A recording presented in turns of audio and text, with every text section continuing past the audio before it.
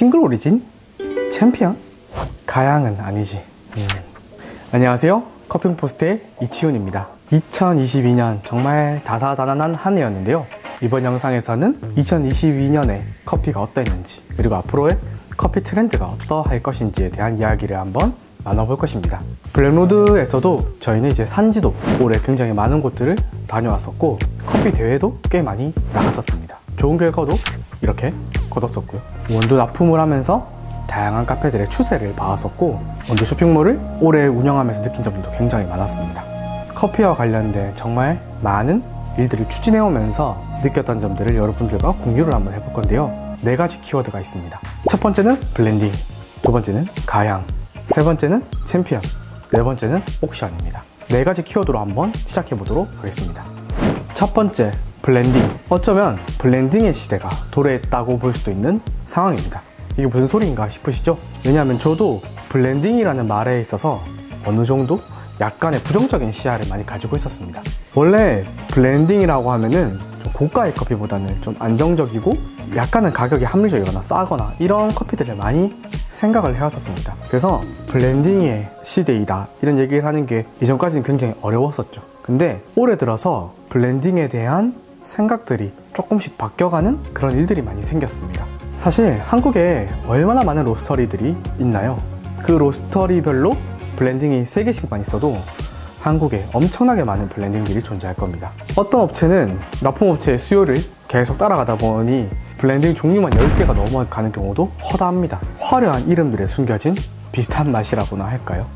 물론 정말 캐릭터가 다른 블렌딩을 만드는 곳들도 분명히 있긴 있습니다. 사실 제 능력이 부족하기 때문일 수도 있겠지만 블렌딩 하나의 맛을 유지하는 것도 생각보다 어렵습니다. 왜냐하면 커피 그 자체가 식품이기 때문에 똑같은 이름의 생두를 계속 쓴다고 해도 맛이 유지가 되는 것은 아니거든요. 지속적으로 맛을 봐주고 그거에 맞는 재료를 찾아서 그것에 맞는 가격대의 생두를 찾아서 바꿔줘야 되기 때문에 하나의 잘 만든 블렌딩을 유지하는 것도 생각보다 어려웠습니다. 그리고 여러분들이 일반 커피를 좋아하는 사람들에게 원두를 파는 것과 납품을 하는 것은 성격이 또 많이 다릅니다. 블렌딩은 보통 소비자들도 많이 마시는 편이지만 우리가 납품하는 카페들에서 많이 사용하고 있는 편이죠. 그 사람들 입장에서는 가격도 굉장히 중요하게 됩니다. 가격과 안정적인 quality를 사시사철 몇 년 동안 유지해 간다는 것 생각보다 굉장히 어려운 일이 됩니다. 만약 그런 것들을 잘 유지하는 곳이 있다면 진정한 실력자이거나 혹은 강배전을 좀 많이 쓰는 매장일 수도 있는 것이죠. roasting point를 정말 높게 만들어 버리면 재료의 변화가 소비자 입장에서는 조금은 덜 느껴지는 편입니다. 강배전으로만 블렌딩을 10가지를 만들게 되면 솔직히 말씀드리자면 마시는 사람 입장에서 드라마틱한 차이를 만들긴 어렵습니다. 왜냐하면 맛이 비슷할 수밖에 없거든요. 추적 가능성을 바탕으로 하는 이 specialty 커피 업계에서 블렌딩이라는 것은 때로는 혼란을 만들어내기도 합니다. 근데 올해 제가 느낀 가장 큰 사건들은 대회에서 정말 좋은 커피를 가지고 블렌딩하는 일들을 많이 보게 됩니다. 저가형 커피들을 섞어서 거기 어떤 어떤 맛을 창조하는 게 아니라 게이샤들끼리 블렌딩을 하거나 게이샤와 특정 가공의 커피들을 섞어서 이 커피의 부족함들을 메워가는 그런 블렌딩을 사용을 많이 했었고 실제로 그런 블렌딩으로 우승을 하거나 좋은 성적을 거두거나 이런 일들이 굉장히 많이 생겼습니다. 이것만 봐도 게이샤 싱글 오리진 이것만으로 사람들에게 만족감을 줄 수가 없어졌다는 것. 옛날에는 게이샤 커피로 아메리카노만 만들어도 와 이거 게이샤 아메리카노야 라고 신기했었지만 요즘은 그렇지 않게 되었다는 것이죠. 거기다가 최근에 다양한 유튜버들과 한국에 있는 많은 로스터리들의 협업으로 만들어진 블렌딩들이 굉장히 많아졌습니다. 어떻게 보면 유명한 사람들과 함께 협업해서 만든 블렌딩이기 때문에 소비자들이 또 한번 맛을 보고 싶은 것이죠. 여전히 사람들은 화려한 블렌딩 이름에 현혹이 되기도 합니다. 근데 반대로 이런 생각도 해볼 수가 있습니다. 어느 날 저희 매장 메뉴판을 봤는데 정말 길고 어려운 커피 이름 20개가 적혀 있는 겁니다. 저조차도 그거를 보는데 이런 복잡한 single origin들의 이름이 무슨 소용인가?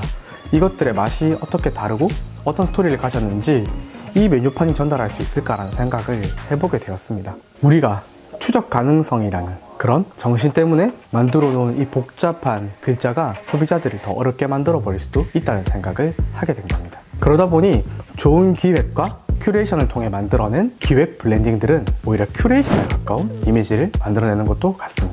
그래서 내년에는 더욱 고가의 특별한 기획 블렌딩들이 많이 생겨나지 않을까라는 생각을 한번 해봅니다. 두 번째 키워드, 가향의 하락세입니다.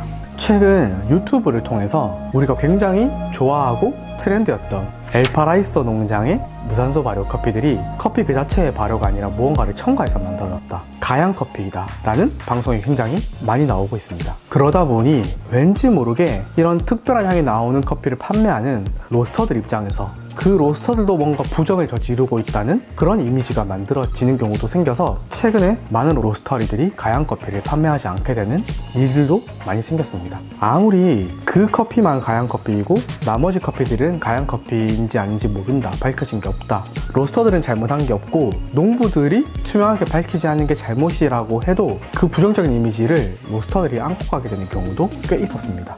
아무리 알리는 사람이 잘해도 소비자들은 여러 가지 말들에 현혹이 되는 그런 사태들을 보면서 이 가양 커피라는 게 시장을 굉장히 쉽고 재밌게 전달할지언정 부정적인 이미지를 가지고 가게 되었다는 그런 사태를 직면하고 있는 상황입니다. 개인적으로는 한국의 커피 시장이 조금 더 다양해졌으면 좋겠다라는 시점에서 우리가 그런 커피를 쓰는 게 두려워진다는 게 좀 아쉽긴 했습니다.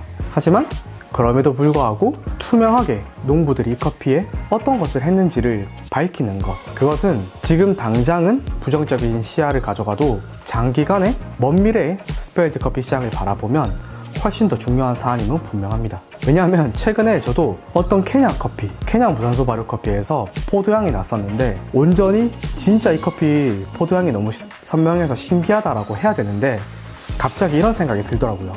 이거 가양 아니야? 그 자체가 굉장히 슬펐습니다. 근데 그런 일들이 생기는 배경에는 어떻게 보면 농부들이 투명하게 밝히지 않았다는 이런 몇 가지 사건들이 있게 됩니다. 정확하게 분류를 하고 이 커피에 무언가 첨가되었기 때문에 이런 향이 난다라고 해도 사람들은 그런 커피를 즐겁게 마실 겁니다. 그래서 가양 홍차와 일반 홍차처럼 분류를 좀 해가는 게 굉장히 중요한 시점이 아닌가 생각이 듭니다. 하지만 여전히 이런 면이 있습니다. 가양을 싫어하는 혹은 혐오하는 커피인들조차도 놓치고 있는 게 있는 것이죠. 왜냐하면 이런 가양 커피들은 우리가 하고 있는 이 커피들을 모욕하는 것 같아도 소비자들이 이런 커피를 굉장히 재밌어 한다는 점이죠. 기존 커피들이 소비자들에게 친절하지 않았다는 것을 우리가 한번 생각해 볼 필요도 있는 겁니다. 이 커피에서 베르가모, 자스민, 블루베리, peach 향이 난다고 아무리 얘기해도 소비자들은 나는 그냥 고소한데? 라고 하는 반면에 가향 커피를 주면은 우리가 말하기 전에 복숭아 향이 난다고 하니까요. 올해 카페쇼에서는 이런 가향 커피들을 커피하는 사람들끼리는 싫어해도 소비자들이 이런 가향 커피를 얼마나 열광적으로 반응하는지는 올해 카페쇼를 통해서도 어느 정도 느껴볼 수가 있었습니다. 굉장히 인기가 많았던 이미 커피 로스터즈에서 굉장히 재밌는 기획을 하셨었습니다. 사실 이미 커피에서 사용한 커피가 가양이다, 무산소 발효다 이런 것들은 저희가 판단할 수는 없기 때문에 어떤 커피인지는 모르겠지만 패션 푸른 요거트, 위스키 카라멜 이런 굉장히 직관적인 이름을 통해 소비자들에게 정말 친절하고 재밌는 경험을 만들어내셨습니다. 우리가 기획함에 따라 커피가 이렇게도 재밌게 많은 사람들에게 이 시장의 파이를 늘려갈 수 있다는 것을 느낀 시점이었죠. 우리가 가향 커피이니 infused 커피이니 발효 커피이니 무산소 발효 커피이니 이렇게 싸우고 있을 때 소비자들은 사실 아무 관심이 없을 수도 있습니다. 우리 업계에서 우리가 잘 지켜나가야 하긴 하지만 소비자들에게 specialty 커피를 더 재밌게, 더 많은 사람들이 이런 문화를 즐길 수 있게 하는 방법이 무엇일지는 다 같이 한번 고민해 볼 필요가 있는 것 같습니다. 세 번째 키워드는 챔피언의 시대입니다. 이전 시대의 챔피언들은 어떻게 보면 소비자들에게 알려지거나 노출될 기회가 확실히 좀 적은 편이었습니다. 그래서 챔피언인데도 사람들이 잘 모르는 경우도 꽤 있었죠. 하지만 유튜브라는 매체가 굉장히 커지면서 챔피언들이 소비자들에게 노출될 기회가 굉장히 많아진 것 같습니다. 그러다 보니 어떨 때는 유튜브에 정말 챔피언들만 나오는 경우도 많이 생겼고요. 챔피언들이 하는 이야기나 그들의 행동에도 예전보다 훨씬 더 힘이 실리고 그들에게 어떤 권력이 조금 더 많이 부여되는 경향도 있긴 합니다. 하지만 그런 스타들이 생기면서 커피를 즐기는 사람들, 이 specialty 커피판이 더 커진다는 것은 굉장히 긍정적인 효과인 것 같습니다. 하지만 그들의 스포트라이트가 커지면서 소비자들이 너무 많이 휩쓸릴 수도 있다는 것을 경계를 해야 됩니다. 제가 여러분들에게 잘못된 정보를 전달하면 여러분들도 굉장히 혼란스럽게 되겠죠. 스포트라이트를 받는 챔피언들이 많아짐에 따라 그분들이 하는 말에도 오류가 생길 수 있다는 점을 컨텐츠를 소비하는 우리들이 잘 인지를 할 필요가 있는 것 같습니다. 물론 그들이 틀렸다는 것은 아니고요. 얼마 전에 제임스 호프만의 유튜브 영상을 보면서 느낀 점이 있습니다. 그렇게 유명하고 챔피언이었고 구독자도 120만 명이 되는 엄청난 사람인데도 그 사람이 유튜브를 통해서 자기가 이때까지 잘못된 정보를 전달하고 있었다고 사과를 하는 영상이 있었습니다. 인스턴트 커피가 카페인이 더 많다고 많이 알려왔었는데 실험을 해보니까 인스턴트 커피가 카페인이 더 많은 건 아니었다. 이런 얘기를 하는 것을 보면서 우리가 믿고 있는 것들이 언제든 틀릴 수도 있다는 것을 여러분들도 한 번쯤은 생각을 해보셨으면 좋겠습니다. 네 번째 키워드는 옥션의 다양화입니다. Cup of Excellence라는 커피 대회를 알고 계신가요? 농부들의 커피 대회라고 볼 수도 있습니다. 이 대회가 처음 시작한 그 해에는 브라질에만 열렸습니다. 1년에 하나의 나라에서 열렸었는데 시간이 지나다 보니까 지금은 1년에 10개의 나라에 열리기도 합니다. COE에 더해서 private collection 옥션이라는 것도 열리고 있는데요. 이런 굉장히 다양한 옥션들이 열리면서 저희가 낙찰받았던 엘 인헤르토 농장 자체 옥션도 있고 파나마 에스메랄다 옥션. 얼마 전에 제가 낙찰 받았던 타자도라다 옥션. 한국에 있는 다양한 로스터들이 더욱 다양한 커피들을 살 수 있는 기회가 많아졌다는 것이죠. 내년에 열릴 옥션들을 보면 올해보다 또 더 많아질 것 같습니다. 그래서 많은 로스터들이 좀 힘을 모아서 옥션에 참가하는 것도 굉장히 한국에 있는 소비자들에게 더 재밌는 커피를 알릴 수 있는 방법일 거라는 생각이 듭니다. 그래서 이 영상을 보고 있는 여러분들도 내년에는 옥션에 조금 더 관심을 가져보시면 어떨까요? 물론 제가 이렇게 알리면 싫어하는 사람도 있을 거예요. 왜냐하면 옥션을 하면 경매이기 때문에 낙찰가가 올라갈 것이기 때문입니다. 네 가지 커피 트렌드 도움이 되셨나요? 내년에는 블랙로드 커피도 굉장히 많은 시도를 할 겁니다. 그 중에서 내년 1월부터 블랙로드 커피 스쿨이 굉장히 또 업그레이드가 될 겁니다. 여기 있는 이 사이트를 통해서 내년 커리큘럼을 한번 보시기 바랍니다. 그리고 이 사이트에서는 제가 이전에 해왔던 블로그 활동들을 유튜브 컨텐츠들을 이 사이트를 통해서 조금 더 글로 여러분들께 공유를 할 예정입니다. 앞으로도 커핑 포스트 블랙로드 커피는 더욱더 쉬운 커피인들에게 갇혀있던 정보들을 조금 더 많이 전달하고 건강한 커피 문화가 안착될 수 있도록 열심히 노력하겠습니다. 좋아요, 구독 부탁드릴게요. 감사합니다.